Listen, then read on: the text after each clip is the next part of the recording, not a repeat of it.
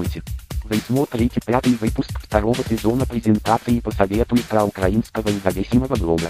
Тема презентации 9 ошибок в поведении, мешающих построить карьеру. Поехали. Иногда в продвижении по карьерной лестнице нам мешает не неадекватность и необъективность руководства, а наши собственные ошибки, которые мы допускаем изо дня в день.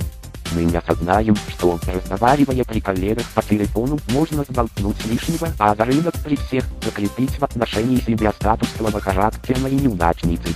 Офис – это своего рода джунгли, в которых нужно уметь выживать по тем законам, которые он ставит. Крокодиловые слезы. Слезы женщины – штука странная.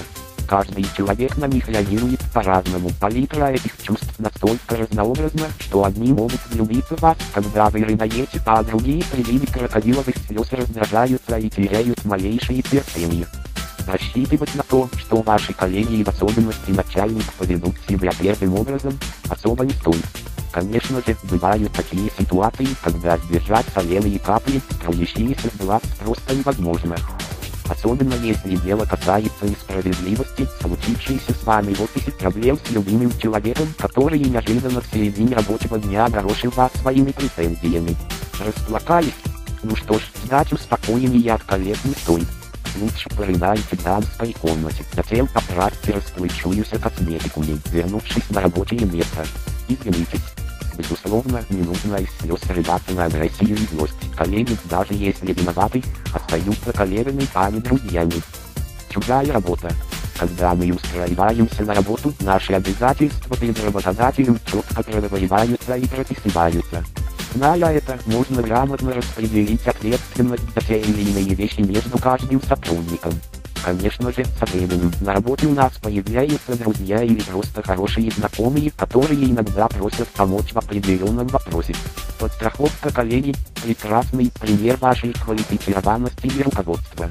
Только не забывайте, что, постоянно подхватывая чужие мелкие задания, вы можете начать неполноценно выполнять свои, попросту не успевать.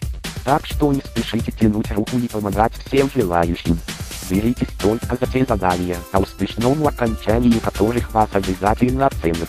Безусловно, они могут быть сложными, очень серьезными, но игра стоит свеч. Иначе вам сядут на шею, свесят ножки и начнут хавонить. А вам это надо? Ожидание. Ждать какой-либо положительной реакции от работодателя – другое дело. Это касается и похвалы, и повышения, и увеличения заработной платы. Пока вас заметят, а проявляйте инициативу.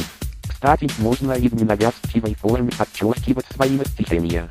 Так что без стеснения привлекайте внимание, умеете общаться и с достоинством принимать комплименты от коллег, ни в коем случае не отметивайтесь и не отрицайте своего таланта и трудолюбия. О женской красоте. Никогда не прихорашивайтесь при своих коллегах. Во-первых, потому что мужчинам не обязательно знать, что вам всего лишь на месяц хватает пудры, брови у вас нарисованные, а губы на самом деле голубеют при малейшем мгновении прохладного ветра. Мужчины, в принципе, любят осознавать, что красивые женщины не нуждаются в тоне косметики, а наблюдение за коллегой, которая наводит маразы, может пошатнуть их мировоззрение. Да и чисто по-человечески это неприлично, а вдруг среди мужчин вокруг затесался ваш тайный воздыхатель, между нами, девочками. Каждой организации есть свои сплетники.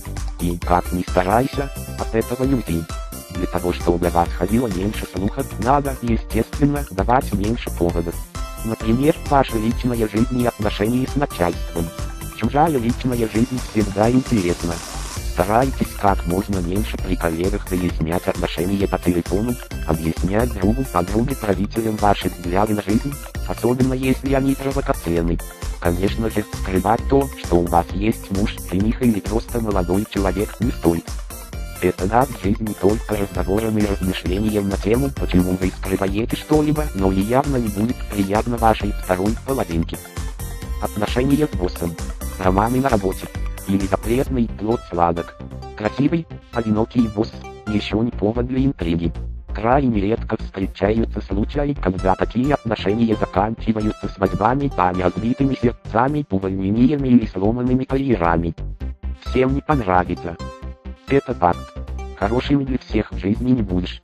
И на работе действуют те же законы. Ваша политика всегда кому-то будет не нравиться, с этим надо смириться и идти дальше. Каждый преследует свои цели в нашем бюрократичном мире.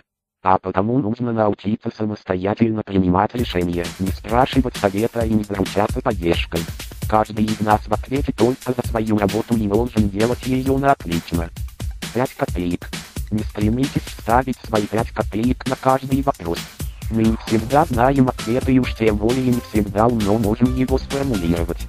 Не стремитесь принять участие везде. Но иногда вставленные три слова могут вас представить как рассудительного и мудрого человека. В этом случае говорите четко, не слишком быстро, без лишней информации и ненужных подробностей. Собрание когда руководство назначает собрание, совещание или летучку, на которой вы обязательно должны присутствовать, ни в коем случае не игнорируйте мероприятие. Вполне возможно, что собирают его ради вас, например, для обсуждения тех дел, что вы ведете, или на нем попросту будут обговорены значительные для организации вещи. Ведите себя активно и, если необходимо, записывайте. Повестить на собрании могут сказать массу интересных и полезных вещей. Ни в коем случае не зевайте, не разговаривайте о вещах, не касающихся дела. И отключайте телефон. Напоследок хотим добавить, держите в порядке свое рабочее место, старайтесь меньше опаздывать и интересуйтесь работой, а если завели спор, всегда имейте объективные доказательства своей работы, ведь это также является составляющими успеха. Данные взяты из сайта Original.com 9 ошибок при поведении и мешающих построй 9 ошибок в поведении, мешающих построить карьеру. Спасибо за просмотр. Есть вопросы? Звоните плюс 38 097 920 85 23. Или заходите на сайт UIB. Это Встречи в следующей презентации.